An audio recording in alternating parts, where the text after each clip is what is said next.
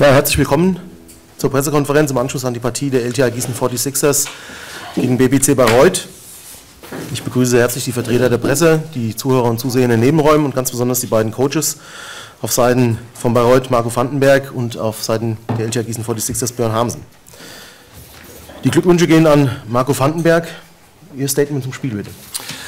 Ähm, zunächst ähm, gratuliere fürs Basketball, weil es war ein äh, richtiges, äh, tolles Basketballspiel, denke ich. Für Coaches nicht, aber ich denke für Zuschauer äh, unparteiisch wenigstens sehr, sehr ähm, leidenschaftsvolles Spiel, unglaublich viel Intensität, Kampfgeist, äh, wie ein Playoff-Spiel. Und äh, hätten, hätte Gießen gewonnen, dann wäre das auch nicht äh, unverdient gewesen. Gießen sehr gut gespielt, unglaubliche Dreier getroffen mit ihren langen Spieler, in wichtigen Momenten auch. Schlau äh, Mismatches ausgespielt, also es war ähm, keine schlechte Partie von Gießen. Äh, über mein Team kann ich ähm, sehr zufrieden sein äh, von der Art und Weise, wie wir uns zurückgekämpft haben im Spiel. Und einige kleine, kleine Sachen waren ähm, wichtig. Ich denke, äh, Ginty äh, an der Freiwurflinie, dass er so oft an der Freiwurflinie kam. Ich denke, denke, dass das für uns sehr wichtig war.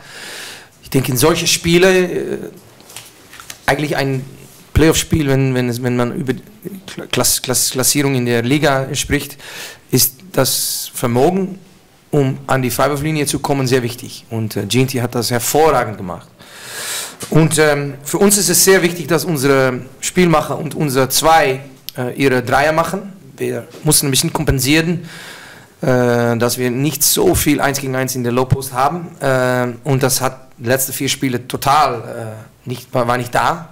Und heute waren Gibson und GNT äh, ziemlich gut wieder und auch dominant.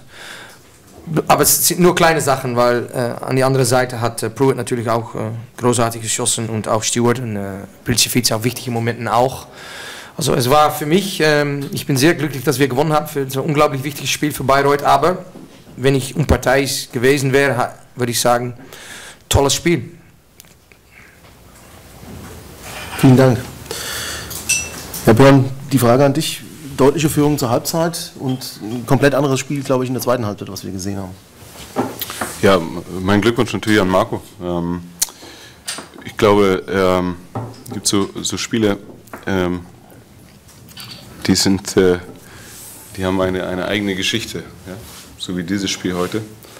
Ähm, ich glaube, dass wir mit einer guten Einstellung das Spiel begonnen haben, äh, dass wir das Spiel auch ähm, glaube ich, in, in, vielen Phasen äh, spielerisch äh, besser gespielt haben. Ja? Wir haben 17 Assists und äh, 10 Turnovers.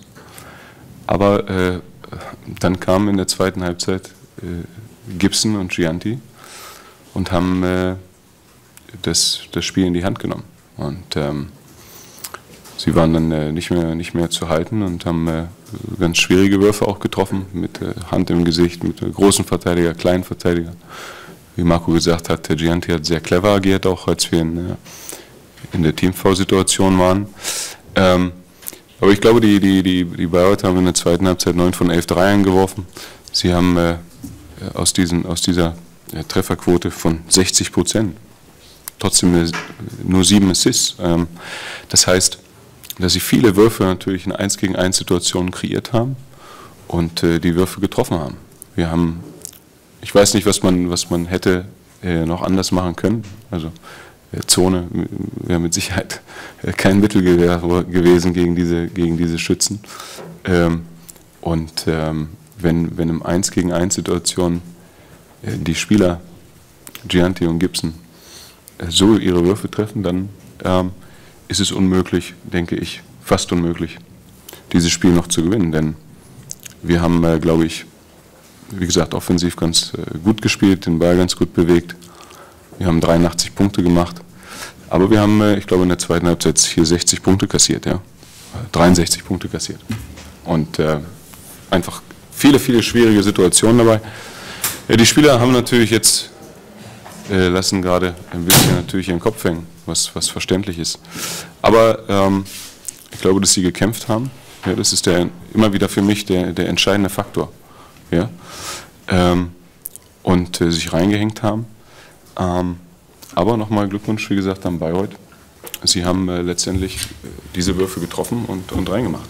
Und äh, wenn man am Ende diese Würfe trifft und reinmacht, dann hat man halt auch verdient, dann zu, gewonnen, zu gewinnen. Ja, danke. Gibt es Fragen von Ihnen noch an die beiden Coaches?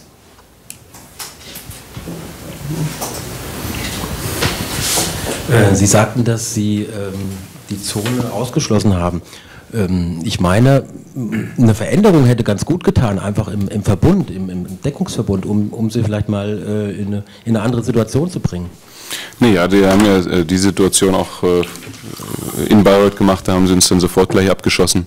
Ähm, wenn ein Spiel da auf der, auf der Schneide ist und, und, und Gleichstand ist, äh, da hätte man vielleicht in der ersten Halbzeit etwas versuchen können.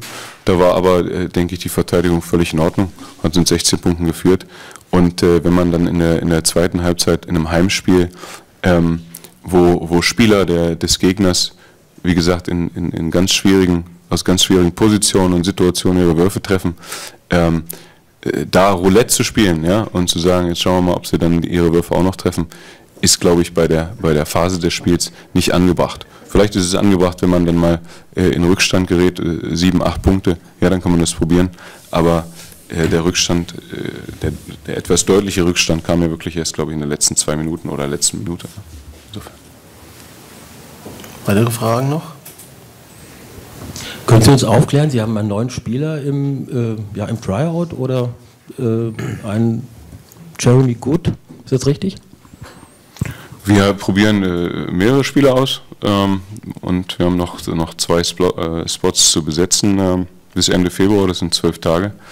Und äh, werden mehrere Spieler äh, probieren auf der Position und dann uns hoffentlich auch für, die, für den richtigen entscheiden oder für die richtigen beiden entscheiden, die uns letztendlich dann auch weiterhelfen werden. Haben Sie jetzt einen im Tryout oder nicht? Zur Probe ja, aber ist auch nicht der erste. Ja. ja. Noch weitere Fragen? Okay, dann noch die offizielle Zuschauerzahl, das sind 3085. Vielen Dank und am 3. März das nächste Heimspiel gegen NBW Ludwigsburg.